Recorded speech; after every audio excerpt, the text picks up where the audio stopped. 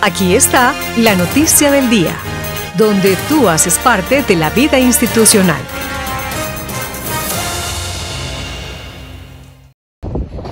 Un saludo fraterno a toda la comunidad de la Fundación Universitaria Católica del Norte. Hoy el equipo profesional de primaria incluyente está muy feliz porque acabamos de salir del consejo, del recinto del consejo donde se aprobó en segundo debate el proyecto de acuerdo que institucionaliza el de educación virtual asistida modalidad Blended.